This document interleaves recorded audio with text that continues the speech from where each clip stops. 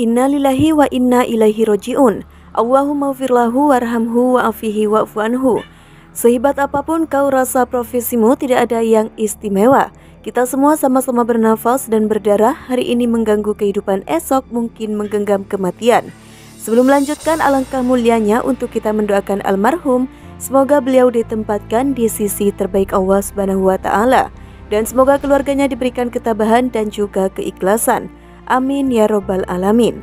Sebelumnya artikel ini admin kutip dari kapanlagi.com karena suhunya kita semua milik Allah hanya kepadanya lah kita semua akan kembali. Kematian adalah merupakan rahasia Tuhan yang Allah yang Maha Esa. Kita tidak semua tidak ada yang tahu kapan akan terjadi, akan tetapi sejatinya setiap manusia pasti akan mengalami kematian.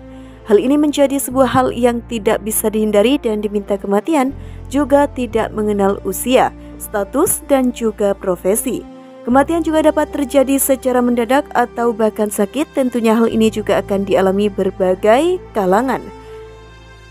Manusia karena kematian akan selalu mengintai di mana saja kita berada. Pernahkah kita berpikir apa yang telah kita siapkan untuk menghadapi sebuah kematian tiada yang dapat menolong kita saat kita sudah mati? Hanya amal-amal baiklah yang dapat menolong kita kelak. Sesungguhnya Allah memiliki hak untuk memberikan dan mengambil sesuatu dari hambanya karena segala sesuatu tersebut hanyalah titipan semata. Semoga keluarganya diberikan kesabaran dan juga ketabahan tiada batas. Atas kepergian almarhum, innalillahi wa inna ilaihi roji'un. Kabar duka kembali datang dari dunia hiburan tanah air. Kali ini publik dikejutkan dengan meninggalnya adik Angelisa Gelisa, yakni Marco Panari. Pada hari Sabtu, manajemen yang menaungi Marco menyampaikan kabar duka lewat akun Instagram @agungsaputra_bm.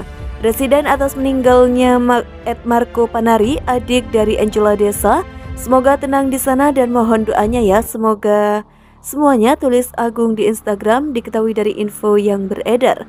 Marco Panari meninggal dunia pada pukul 20.25 menit waktu Indonesia Barat di Rumah Sakit Bayangkara tingkat 1 Raden Said Sukanto, Jakarta Timur. Pada hari Sabtu, rencananya pemakaman almarhum akan diadakan di Bali pada minggu pagi.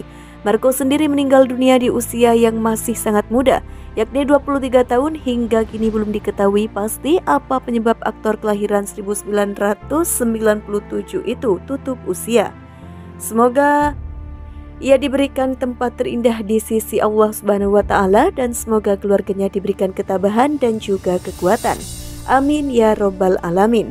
Terima kasih sudah menonton video ini dari awal sampai akhir. Jangan lupa like, komen, dan juga subscribe.